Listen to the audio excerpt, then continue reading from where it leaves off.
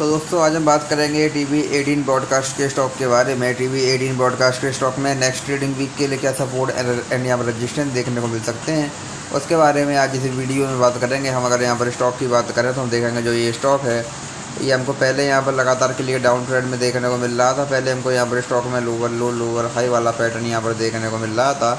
लेकिन फिर स्टॉक ने यहाँ पर सपोर्ट लिया, जिसके बाद से अभी अगेन हमको यहाँ पर स्टॉक में लगातार तेज़ी देखने को मिल रही है। अभी अगेन हमको यहाँ पर स्टॉक में हाइयर हाई हाइयर लो वाला पैटर्न यहाँ पर अगेन देखने को मिल रहा है। आज भी हमको यहाँ पर स्टॉक में 3.83 परसेंट की यहाँ पर एक अच्छी तेज़ी देखने को मिली है। साथ ही आज की तेज़ी के साथ हमको यहाँ पर स्टॉक में ब्रेकआउट भी यहाँ पर देखने को मिला है। ब्रेकआउट की बात करें तो जो ये स्टॉक है, ये पिछले एक लंबे समय से यहाँ पर लगातार 48.33 का जो लेवल है, इसी के नीचे यहाँ पर ट्रेड कर रहा था, लेकिन आज स्टॉक ने इसको भी यहाँ ब्रेक किया है। तो यहाँ से अभी हम स्टॉक में बात करें, अगर यहाँ से स्टॉक में और तेज़ी आती है तो यहाँ से भी और तेज़ी की कंडीशन में हमारे पास स्टॉक में फिफ्टी वन का पहला यहाँ पर रजिस्ट्रेशन देखने को मिलेगा।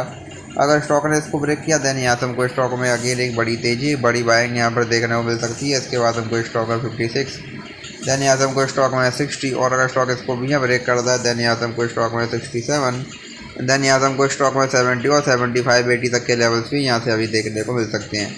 वही यहाँ से अब अगर स्टॉक में गिरावट आती है तो यहाँ सब गिरावट की कंडीशन में हमारे पास स्टॉक में फोर्टी एट का पहला यहाँ पर सपोर्ट देखने को मिलेगा।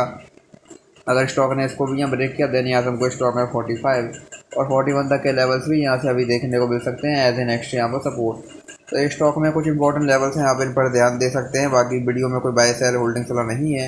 वीडियो केवल एजुकेशनल पर्पज़ के लिए धन्यवाद।